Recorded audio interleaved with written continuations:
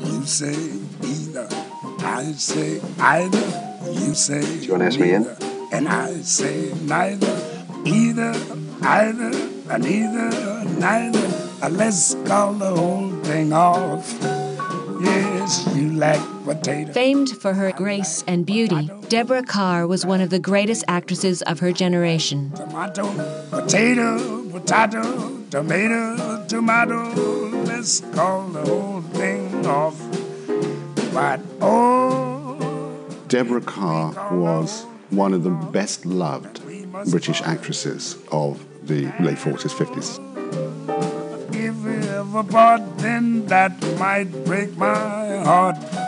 There's no doubt about it that she had a wonderful presence on the screen, and there's no doubt about it that uh, she had a, a wider range than Hollywood thought.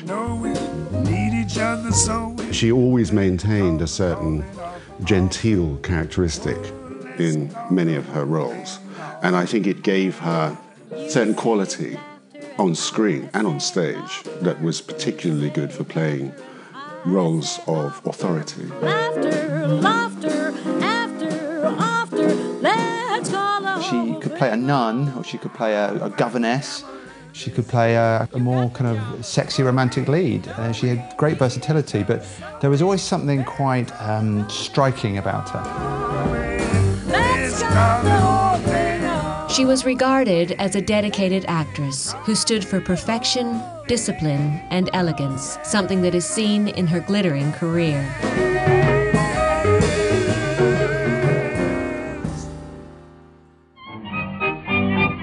Deborah Kerr was born Deborah Trimmer on the 30th of September 1921 in Glasgow, Scotland. Deborah Kerr was born in Glasgow. Uh, her name, her real name was Trimmer. And actually, I think she always felt she was a Scottish lady. Um, and certainly Hollywood always thought that she was a Scottish lady too, somebody not to be trifled with too much. Deborah Kerr was kind of inescapably Scottish, I think, throughout her career. Uh, not just her red hair and her pale skin, but a, a certain sense of who she was and how she did things had a kind of Scottish fierceness to it or stalwartness to it. But did she have any stronger feelings about her homeland? I don't think so, no, because um, quite soon after she decided to become an actress and worked in England for some time, um, she had her eye on Hollywood. So I think her aspirations um, overcame any feelings of homesickness. Leaving Scotland at a young age, Kerr grew up in the West Country of England, where she studied dance at a drama school run by her aunt. It was here she found a love of the stage. She won a scholarship to Ninette de Valois' Sadler's Wells Ballet Group, with whom she made her stage debut aged just 17. She clearly had a yen for physical theatre. Um, and I think that that training certainly helped her as an actress. It gave her a certain classic style, uh, way of walking. I mean, once you've been trained as a dancer, you never really lose that. She had a certain poise and calm about how she acted, a kind of gracefulness that she kind of took to films. If you think right through to The King and I, she wasn't a natural, you know, she wasn't a star of musicals per se, but she had a kind of uh, a dancer's feel about her. And there's something nice about that with actors. And I think her, her way of moving certainly did draw Hollywood towards her in the end. You know, certainly that era of Hollywood where it was about the star as much as it was about the subject. But she realized success would not come from her dancing, and so she concentrated on developing her acting skills. Because her contemporaries were Beryl Grey and Margot Fonteyn, people of that ilk, and I think she did have a strong sense of ambition, and she wanted to be better than she knew she could be as a dancer, so she turned to acting. Changing her name from Trimmer to Kerr, in 1939 she had small parts in Shakespeare productions at the Open Air Theatre in Hyde Park. It was here she was spotted by film agent John Gliddon, who signed her for a five year contract. In 1940, she made her screen debut in Michael Powell's Contraband. However, most of her scenes ended up being cut. She was establishing her name, which led to roles in Penn of Pennsylvania and Hatter's Castle, opposite Robert Newton and James Mason. Deborah Kerr was popular with the public from the moment she first appeared on screen. I think the reason that people liked her was because A, she was not threatening, B, she was very good looking. She began her career and she sort of shifted from dancing into, into acting, and she was immediately very successful. I think it was very much, it was kind of a local success. It was, uh, it was English films and Scottish films, British films, if you want. I think people took her to their heart, certainly British audiences, um, because she was local. Um, obviously, she was very beautiful uh, and very elegant, but there was something um, accessible about her, uh, certainly at that stage. Women could relate to her and men could rather like her because she wasn't threatening sexually. She was extraordinarily beautiful. She was an aspirational figure. Um, you could, you know, you could like Deborah Kerr. I think Deborah had a lot of charm on the screen, um, and she was she had a very nice voice, uh, and I think you know was a hard-working actress, and, and and people liked her. In the early 1940s, the war was on. I think we were looking for stars who were friendly and not kind of remote, who were much closer. And I think over the, the preceding first two or three years of her career, she became very successful. Mr. Candy? Miss Hunter? Yes. 1943 saw the first of Kerr's film classics in Michael Powell's The Life and Death of Colonel Blimp. Go back.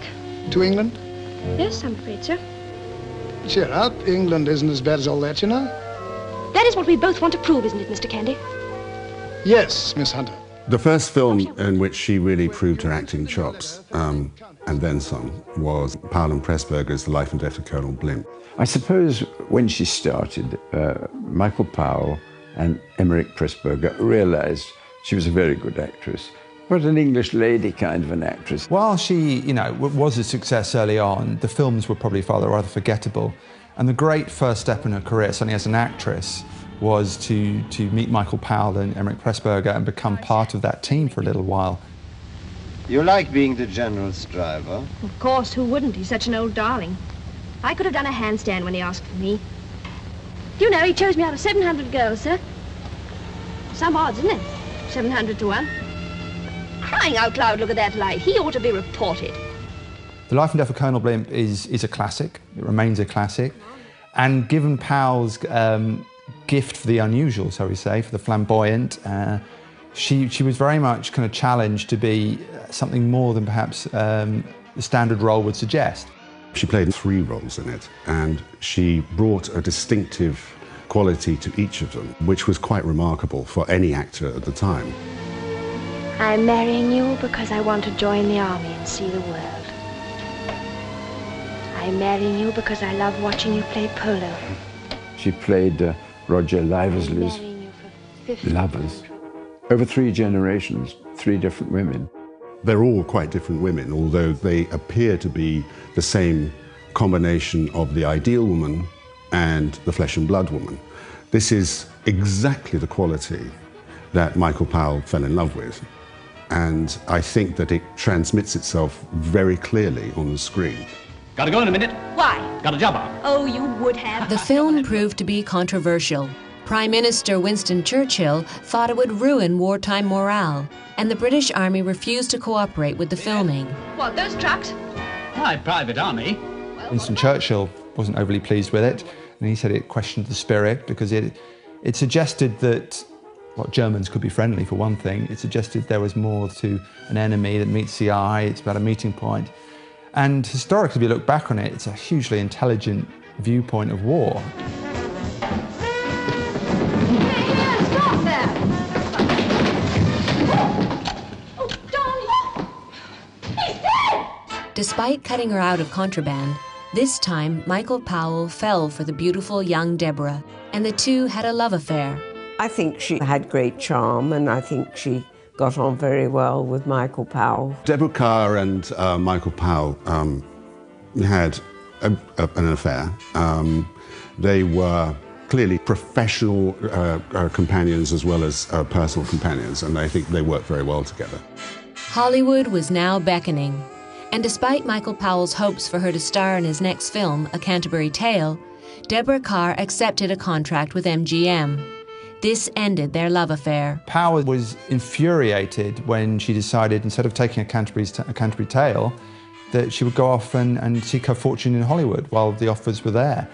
And, you know, he, he said to her that that's it. You know, you, you're with me or you're, you're against me, and, and that's no more.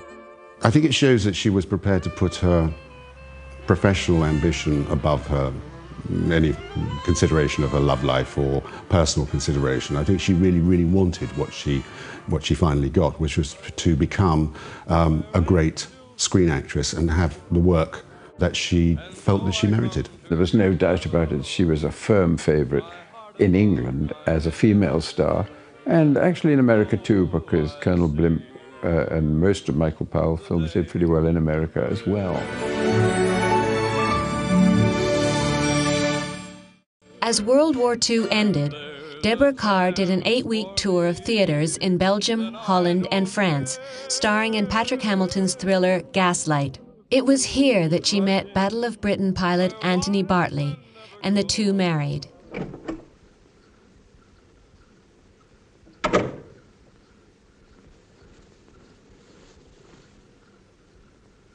Sister Clodagh, we may proceed with our plans at Mopu. It will be called St. Faith. St. Faith? And you have been appointed to take charge of St. Faith. I, Reverend Mother? You. The film that really brought her to international recognition was Black Narcissus. Thank you, Reverend Mother. She played the same woman, but in two aspects of her life. And first as the nun, um, of course, the uh, Mother Superior in the Himalayan uh, convent, um, but also in flashback, showing her as a young woman and the circumstances by which she decided to become a nun. Chloe, don't you sometimes itch to get away? No, I don't want to go away. I want to stay here like this for the rest of my life. It was a very interesting film considering it was all shot in England and yet, you know, the, the art direction, you know, really convinced you you were in India. A wonderful film, the best use of Technicolor ever at that time, superbly shot. And she was pretty good too. They are two quite di distinct performances again. She's quite capable of doing this. And I think that, quite apart from the exotic nature of the film, and this was, at the time, quite a shocking movie, and was shot entirely in the studio, which was unheard of, I mean, to get that sort of uh, look.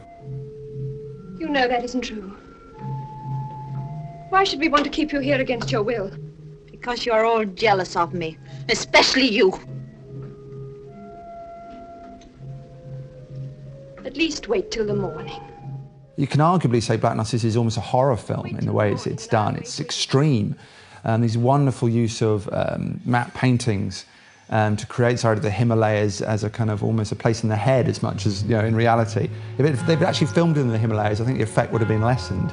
It's kind of ever so slightly fake for a reason, and you kind of these wonderful depths, and it's kind of the whole environment is, is mad to begin with, and his use of colour with lipstick and kind of violent tones uh, is, is classic Powell, but it just creates a, a world unto itself. Even now, it's a tremendously exciting film. I mean, Powell pulls that together and does it with great sensitivity, but at no, no lack of eroticism. It's a very, very erotically charged movie. A remark of, of the side of, of Kerr's career was the kind of severity she could create uh, on screen. You know, she played Nun twice, she played governesses. She could be fearsome, and she could be kind of this really strong force, um, but yet have, um, and it's very much there in Black Narcissus, a kind of fragility, a kind of that she, you know, at what point will she crack? You can see her internal storm going on within the film. The film was a success both in the UK and in America, winning Kerr the New York Film Critics Award as Actress of the Year. MGM knew it was time she was launched in America, and she and her husband moved to Hollywood. Her British accent and graceful appearances won her many roles as a refined and proper English lady in big budget outings such as King Solomon's Mines and Quo Vadis. She also won her first Oscar nomination in Edward, My Son. She'd made a couple of attempts to move into other areas before um, the one that really did it, um, From Here to Eternity, um, by appearing in King Solomon's Mines, which was a great adventure romp with Stewart Granger. It's the first time she'd done a proper action movie. And then Quo Vadis, um, the great Roman epic, which at least showed that she could do other things. Now, people in Hollywood were a little puzzled about her. She plays a governess very well. She plays a nun very well. She plays a Mother Superior even better. But is she going to play a sexy lady? And so it was such a huge surprise when she went into that film with Burt Lancaster, From Here to Eternity. Looking for variation in her work, Kerr asked MGM to let her freelance between projects, and on good faith, they allowed it. Her agent then persuaded Columbia head Harry Cohn to cast her as Karen Holmes in From Here to Eternity.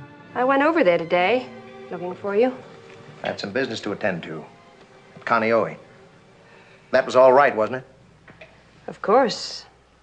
I have no right to inquire into your actions. That was our agreement. Then why bring it up? Because I wanted you to know I'm not as stupid as you maintain all women are. Now, just what does that mean? What are you accusing me of now? Of nothing. It's no longer any of my business how many women you go out with, is it? But I wish you could just be honest about it once. The first important Hollywood role um, was From Here to Eternity, which, which broke the mold in, in many respects because, A, it was a very sexual role, which we hadn't really got a much of from, from her at that point. Uh, she was an embittered military wife. It was a complicated world in which the, you know, the film plays. And, you know, she was up with Burt Lancaster, so it was a big deal. I could use a drink myself. Do you want to ask me in?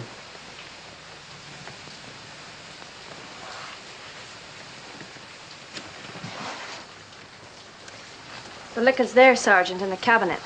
Under the direction of the legendary Fred Zinnemann, Deborah Kerr was mesmerizing as the desperate alcoholic nymphomaniac, and she would be nominated for an Academy Award once again. No, she won't. Thursday's a day off. You think of everything, don't you, Sergeant? I try. In my position, you have to.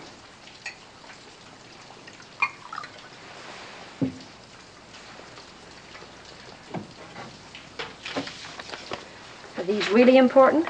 Yes, but not important to get signed today. Tomorrow's okay.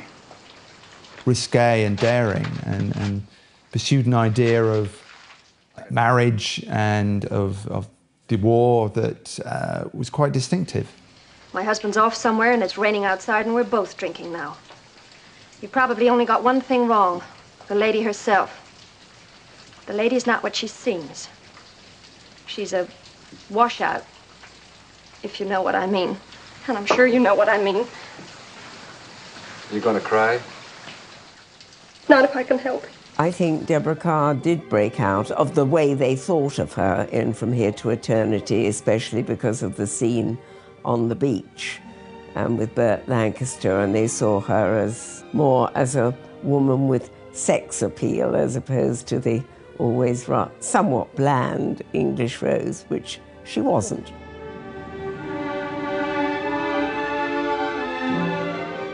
It's an interesting scene to watch now. It's still erotic, but one has to imagine the impact um, at the time. I mean, it was just extraordinary. I mean, people went crazy for it, you know. It stands up as one of the great romantic scenes, you know, committed to, to the screen. The iconic love scene with Burt Lancaster on the Hawaii beach has since been acknowledged by the American Film Institute, recognizing it as one of the most romantic films of all time. It was a very romantic um, and sexually arousing scene. And so the, put the two together and you've got an absolute sort of humdinger, um, one that sort of people always talked about and they still talk about.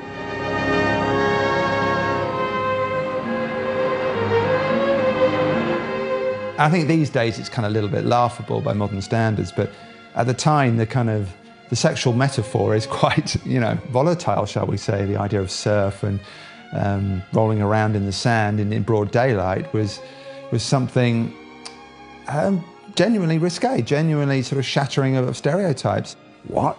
Deborah Kerr doing this with Burt Lancaster. So they got a new view of her from them.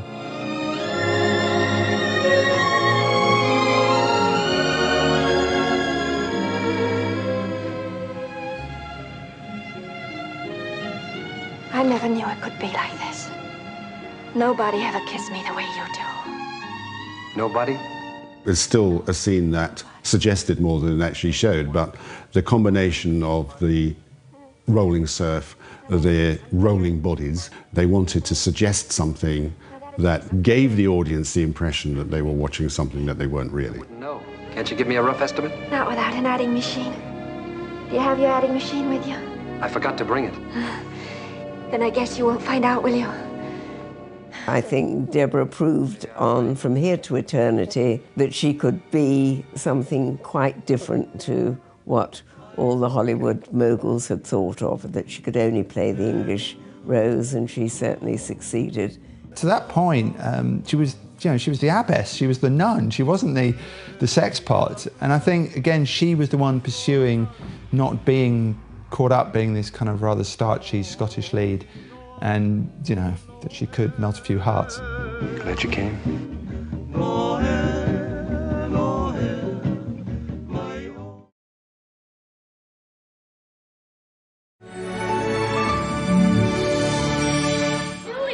With success at the box office and with the critics, Kerr could choose exactly what she wanted to do next.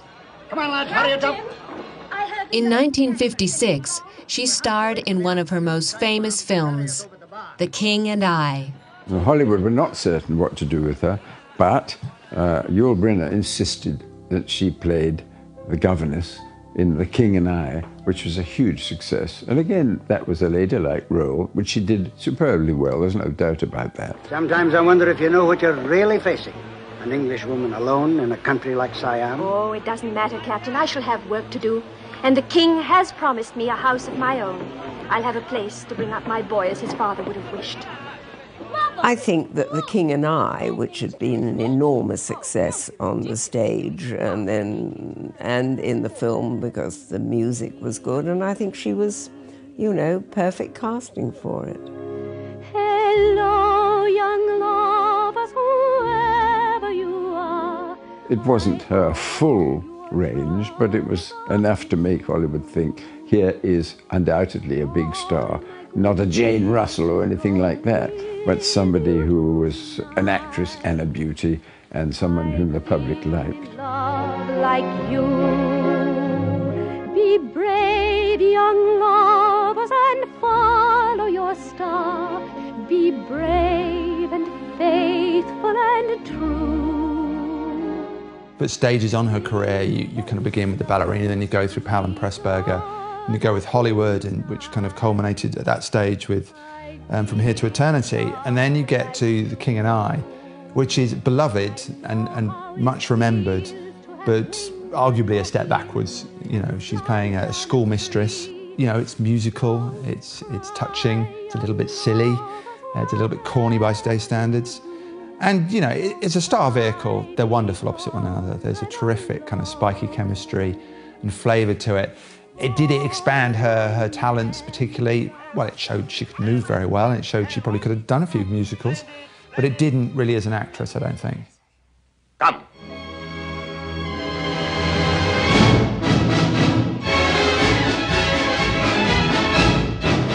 Both stars were nominated for Oscars for their roles. Yul Brynner would win the prize, and for the third time, Kerr walked away empty handed. Deborah Kerr is one, I think, of only two actresses who have been nominated for Best Actress Oscar six times and never won. While she did get quite a few nominations, she did go quite awardless. And The King and I does mark one of the occasions where at least the Golden Globes gave her an award. Say to a lot of people, what's your favourite Deborah Kerr film? And many would say The King and I, because um, it's such a sort of lovely sort of fable. But it's kind of, it's that Julie Andrews side of her rather than the, the sex pot side of her. Come. We'll do it again. The fact that she, you know, she has got an award to her, her credit at that stage is recognition by her peers that she is what she is, which is a remarkably good actress. And she can work in many, many different forms of film, from comedy, light comedy, to quite serious drama. Allison, it's a lovely film by John Huston in which Deborah Kerr plays a nun. It was great credit to them that the film doesn't look over sentimental or typically sort of Hollywood, we can't touch sex. The rice will be ready in a minute.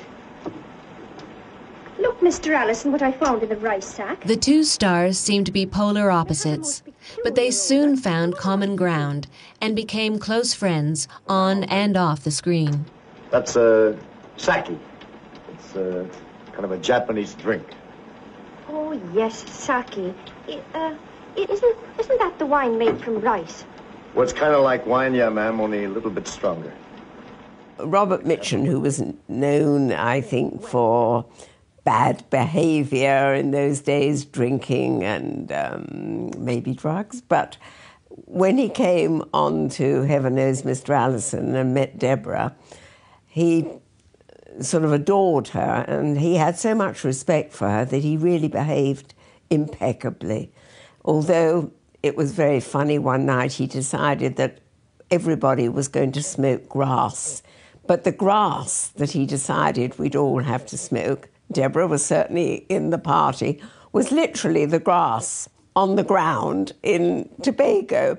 And everybody just fell about laughing because, of course, it wasn't grass, you know, that you smoked, even though he thought it must be because it was growing in the Caribbean. But she joined in with everything, and and she was great fun. All right now, ma'am, together. One, two, three, four. Of course, on the surface of it, they're complete opposites. You know, he's a big, brooding, slow, violent, dangerous guy, and she's a sort of English rose, slightly prim. Legend has it that Mitchum was very was a little bit wary of working with her until they were filming in um, a boat, and she was rowing the paddles, and they broke, and um, she just let out, out a stream of oaths, which made him laugh so much he nearly drowned. Um, and that was it. That was the forging of a sort of of a great friendship. Easy now. Inside the prim and rather gorgeous um, Deborah Kerr was a woman of real sexuality. You know, she was quite a gal.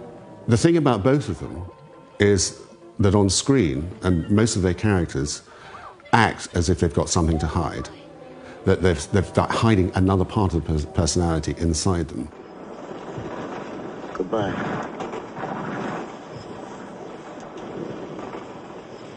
Goodbye, Mr. Allison.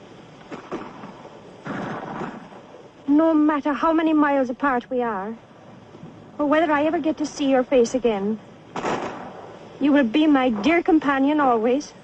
When he met Deborah, he behaved completely differently. She had a great sense of humour, but he had tremendous respect for her as an actress. And I think from that film, they stayed friends, you know, until he died.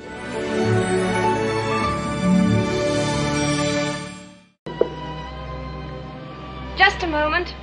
Kerr was now at the peak of her career.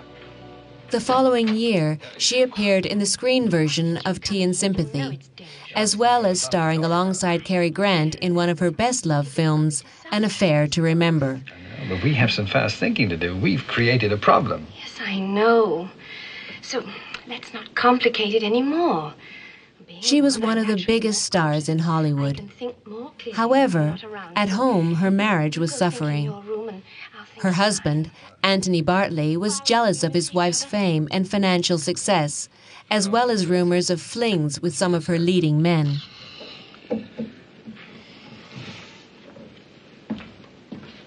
Filming also pulled her away from home and their two daughters, and they divorced in 1959.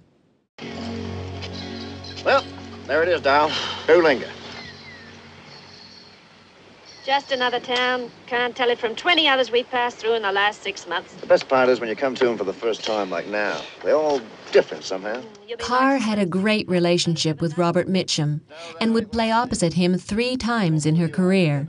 In 1960, they did two films together The Grass is Greener and The Sundowners, which would give her yet another Oscar nomination. He was a, a wonderful presence in the film, and he played again with Deborah Kerr and appeared as this uh, the wife of this sheep farmer going across Australia. And so she did one of her best performances. You know we haven't said ten words to each other all week. I know. What about going to town on Saturday night? You know, have a few drinks, talk. What do you say? Oh, I'd love it, Paddy. But then most female stars did do their best performances against Mitchum because Mitchum actually helped them along without, without seeming to. He gave a lot to uh, his partners in all these films. Once again, because he thought they were better than he was, probably. Why, why don't we call him Sundowner? Many felt Kerr should have won that year, but she lost out to Elizabeth Taylor's performance in Butterfield 8. I don't think Deborah Kerr was worried about the competition from younger actresses. Um, she'd started very young, and I think she was very realistic. She was pursuing roles that sort of shattered uh, her look and her type as Hollywood saw her. Um, she was looking for sweatier roles, not to the Iguana. She was, um, she was looking for things that weren't standard romantic fare. In 1961, Kerr made The Innocents, which was widely regarded as one of the best ghost stories ever made.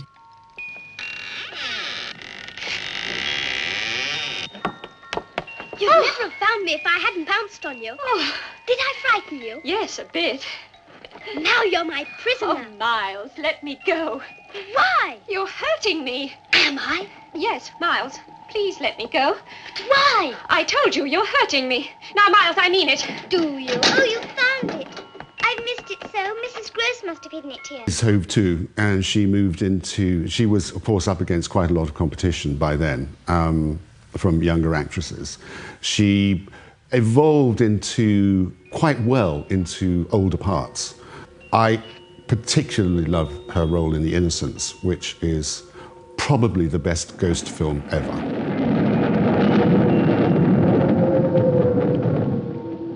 The Innocents is a particular favourite of mine because it's a terrific uh, female lead performance uh, and a female driven film.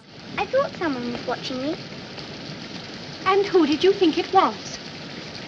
Why, Miss Giddens, you came out without your hat. So did you. She was better when she didn't have a leading man with her almost, that she could do much more with that kind of situation. It's a, the Innocents is a version of Turn of the Screw. Um, it's about a, a governess who goes to look after two children in a remote mansion, and the two children claim to see ghosts. It's quite a simple setup in that respect. But again, it's all about the kind of the shattering of her poise, I think is what the kind of key to the film is. Um, how and when she will break down amidst this intense strain. Where is she? You know you can see her. Look, Flora, look. There. You know you can see her. I can't, I can't. Admit it. She's there. You know you can see her. That is the heart of the film, the, the skill in which she depicts her own fragmenting psyche. What is she seeing? Is it real? Is it not? As well as these two very strange children she's kind of confronted by.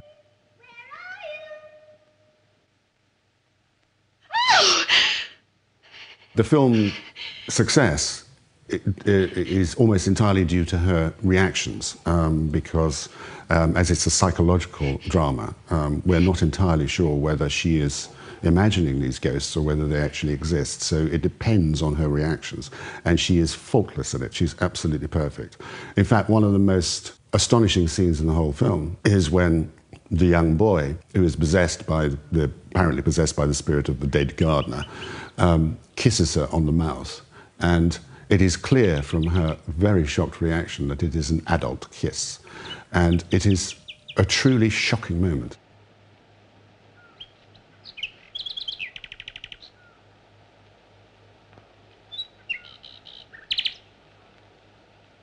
I put that alongside uh, Black Narcissus as, as one of her most enjoyable and striking roles.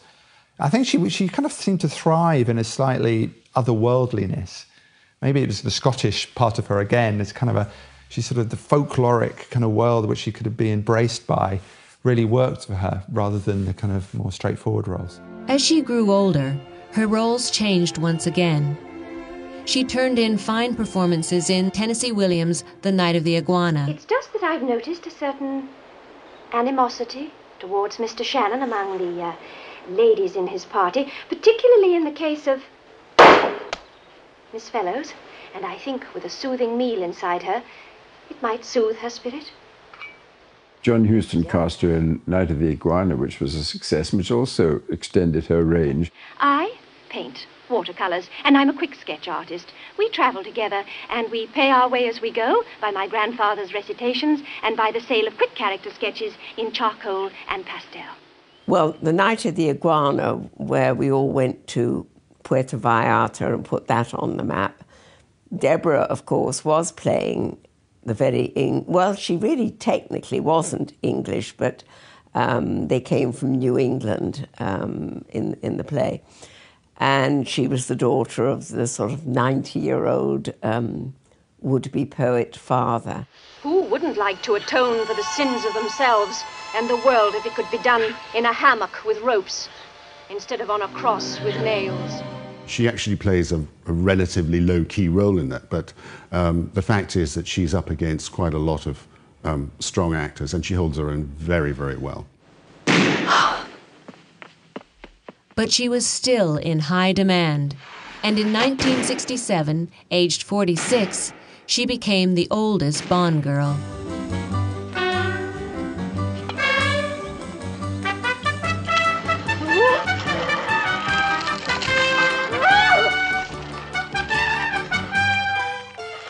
A Bond girl, aged 46.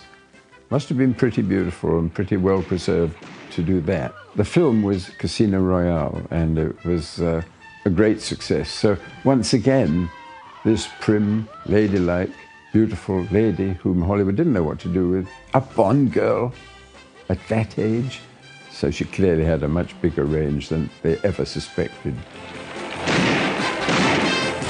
Casino Royale, however, is not an official Bond movie. It's not the, the recent one, obviously. It's uh, a rather deranged attempt to um, crack the surface of the Ian Fleming mythology uh, in a comic manner. So it, it had about uh, four or five different directors. It had Woody Allen, Orson Welles, David Niven, To the laird! To the laird! and it didn't have a whole lot of sense to go with those things.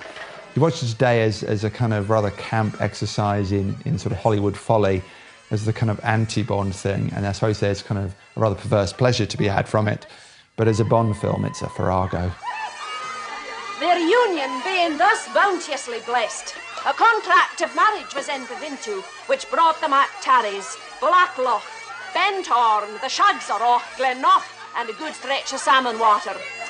It's amusing, and she is a good sport in it. I mean, she, you know, she, she knows how to um, play the game and take, take the mickey out of herself. But it's, it's not a very good film, and neither was um, Prudence and the Pill, for example, which she did, um, which is really best forgotten. So there's a, there's a handful of films after The Innocents, which um, I think show that she's probably in a position where she's, that her career is winding down.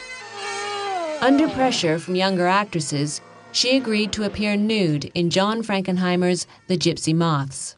She really didn't much care for the fact that actresses now had to sometimes appear nude. She did appear nude just once in uh, John Frankenheimer's The Gypsy Moths. which is a John Frankenheimer film about skydivers, which doesn't have a lot going for it to begin with. Um, it has her only nude sequence. She was rather kind of bullied into it, I think.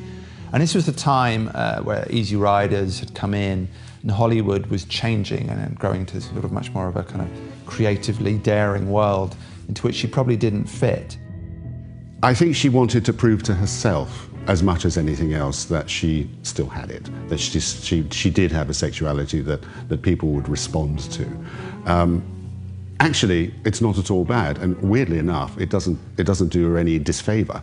Um, she comes out of it uh, with all her dignity intact. It worried her a bit, and she decided that it was really better for her to appear in the theatre and uh, in early television. That's what she really wanted to do because she felt she was as much a classical actress as a film star. People forget her contribution to theatre, uh, which I think she enjoyed a lot, actually. I think it was an important part of herself. Um, again, probably goes back to training as a dancer, and it probably fulfilled part of her, a physical part of her that needed to be expressed. One has to, you know, give her hats off for actually continuing and going back into theatre. Of course, by the time that she went back, she'd already built up this huge reputation. Everybody knew she was. She was a star. She was a movie star, and she was a British movie star. So um, the home, the home team, the home audiences loved her. She was given an honorary BAFTA in 1991 and an honorary Academy Award in 1994. After a battle with Parkinson's, Deborah Kerr died on October 16, 2007, aged 86.